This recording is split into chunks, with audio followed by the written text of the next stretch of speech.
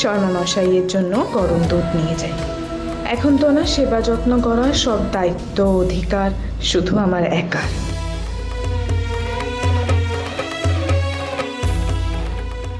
আমি তোমায় বলেছিলাম না, তোমাকে প্রতিযোগিতায় জিততেই হবে। তুমি মোটেই গুরুত্ব দাওনি। তোমার কাছে পরীক্ষায় হার জিতের কোনো মূল্যই ছিল না। এখন বুঝতে পারছ তো? বড় বৌদিদি মানুষটা মোটেই সুবিধার নয়। একদিন তুমি নিজে খাল কেটে কুমিয়ে এনেছিলে। বড় বৌদিদিকে এই বাড়িতে ঢুকতে দিয়ে। আমরা তো তোমাকে কত করে বারণ করেছিলাম। মানুষ এমন কেন করে গো ঠাকুরজি? আমি তো কেঁদে কোনো লাভ নেই বৌদিদি। কোনো লাভ নেই। এই সংসার তোমার চোখের জলের কোনো মূল্য দেবে না। বরং এখন থেকে একটু সাবধান হও। নইলে নইলে দাদার সঙ্গে তোমার বিচ্ছেদ শুধু এক পক্ষকালের নয়, সারা জীবনের জন্যে হবে। কথাটা মনে রেখো।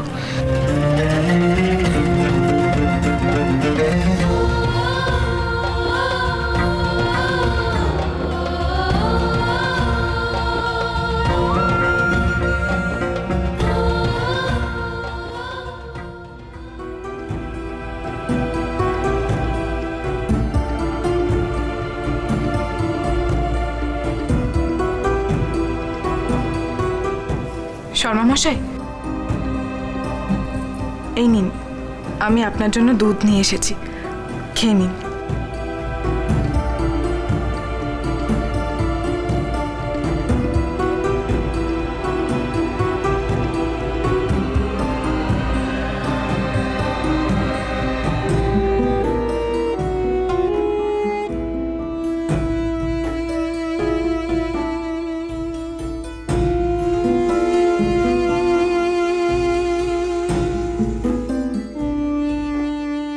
আসুন শর্মা মশাই, অনেক রাত হয়েছে, শুয়ে পড়ুন।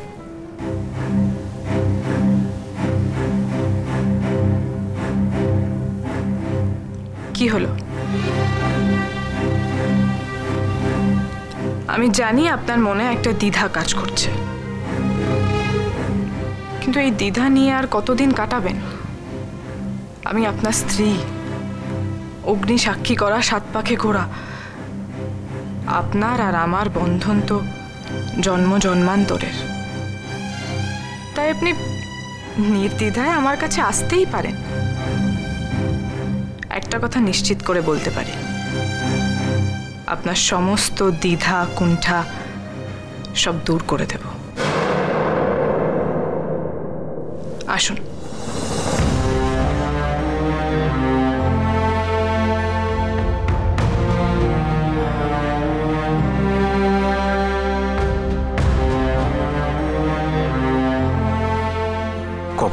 কোথায় কে জানে?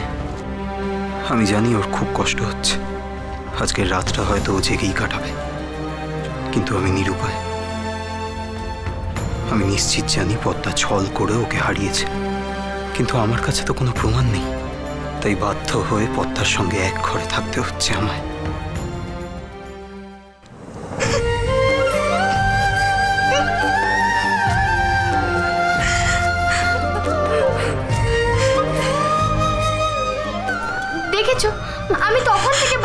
করছি এত কেঁদো না, এত কেঁদো না। দাঁড়া আমি একটু জল নিয়ে আসছি।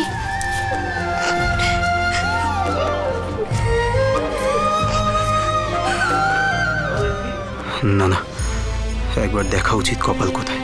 পদ্মার ঠেস মারা কথাগুলোর অর্থ কপাল বুঝতে পেরেছে বলে তো মনে হয় না। আর যদি পেরে থাকে, তাহলে না জানি কত কষ্ট পাচ্ছে।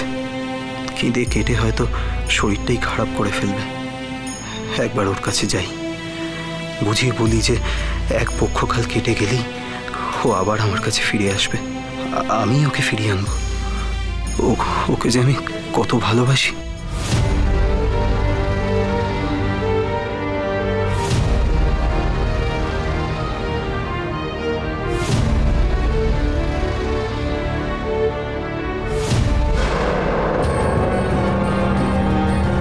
আমি জানতাম শর্মা মশাই।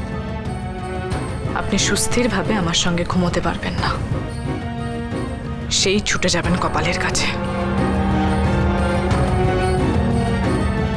আমিও তাই আগে থেকেই তৈরি হয়ে আছি শর্মা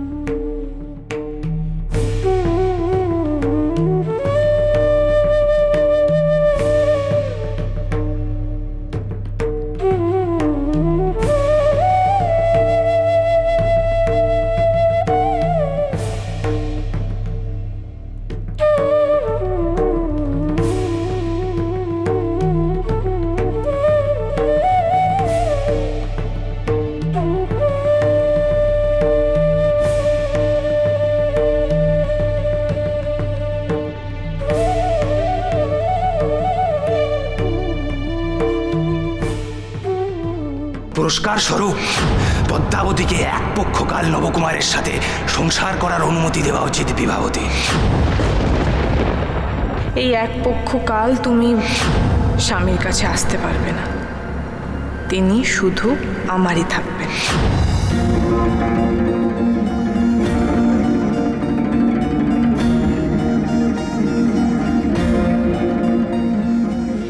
না না আমি পরীক্ষায় হেরে গেছি। পথিকের কাছে এখন আমার যাওয়া চলবে না, এক পক্ষ কাল সবসময় দূরে দূরে থাকতে হবে।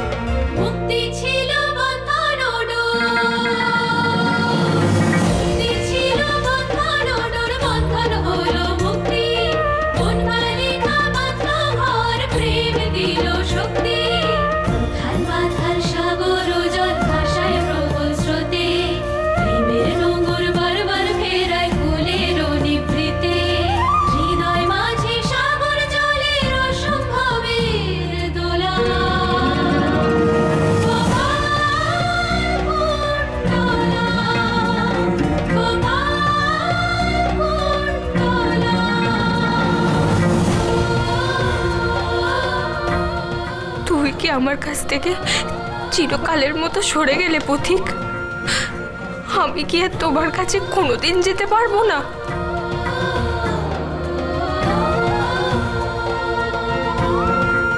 তুমি কি মনে করো কপাল?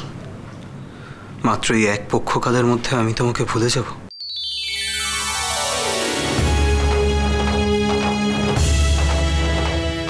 এতই ঠুমকো আমার ভালোবাসা। আমি তোমারই ছিলাম আর তোমারই থাকব কপাল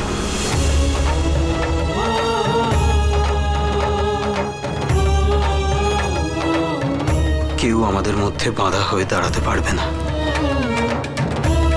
কেউ না।